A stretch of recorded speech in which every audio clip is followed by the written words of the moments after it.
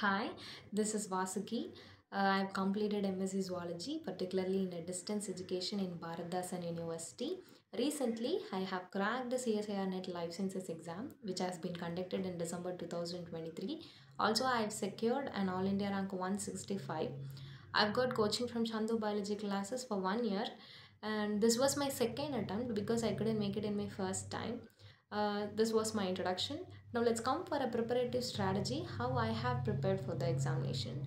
Uh, so we have 13 units totally. Uh, in our class, I was guided that we have to be thorough with the first six units, uh, like biochemistry, cell and molecular biology, cellular communication and cell signaling, uh, developmental biology, and plant physiology. These are all the most important units we have to be thorough with and we should not take any chances regarding this first six units. And when it comes to the uh, after finishing that that will be our first priority. And our second priority we have to give for units like inheritance biology that is genetics ecology and evolution and animal physiology. These are all the second preference we have to give for these units. And after finishing that we have to give um, give for units like unit 13 and some of the topics from unit 12 as our third priority. So uh, in unit 13 we have a lot and lots of techniques in that. When it comes to the technique we have to focus on what will be the technique and what will be their working principle and what will be their applications and if you find any graph in any of these techniques we should not leave that graph. For example circular dichroism. And also we have uh, not only for these techniques what are all the concepts you have come across?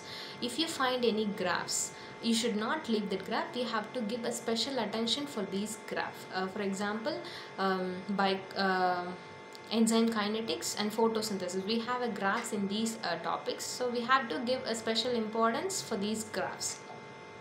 After prioritizing the units the second thing you have to know how you have to be thorough with the concept. How there will be a certain things you have to follow to excel in each and every topic. So the first thing you have to do is you have to study the concept. What are all the books we you are having? You have to take that book and you, you can refer that book and uh, you have to make sure that you are uh, okay with the concept. And after so for today if you read something you have to analyze yourself. That is important thing because you have to know that whether you are reading correctly or not uh, you have you can analyze yourself by solving the previous year question papers. Just by uh, no just by answering the previous year question papers you can come into um, uh, conclusion that you are in the right track of the examination or you are deviating from the examination. If you can answer correctly uh, which has been asked in the previous year then you can be confident that you are in the correct track of the examination and you are reading correctly and you are getting the concept wisely.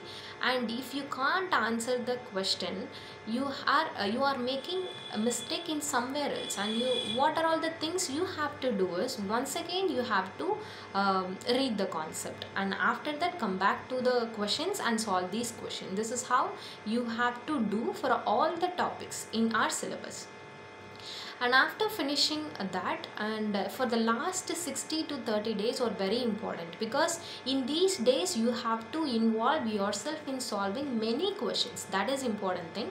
Uh, if you if you have to solve at least 50 questions per day for the last two months that is mandatory you have to do. If you can't uh, spend the last 60 days or at least you have to uh, involve your yourself in solving questions by for at least 30 days that is important.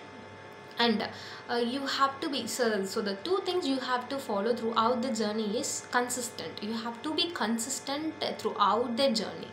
Uh, if you can spend only 3 to 4 hours or 4 to 5 hours you have to be consistent not until the examination until you crack the examination. You have to be consistent. That is important.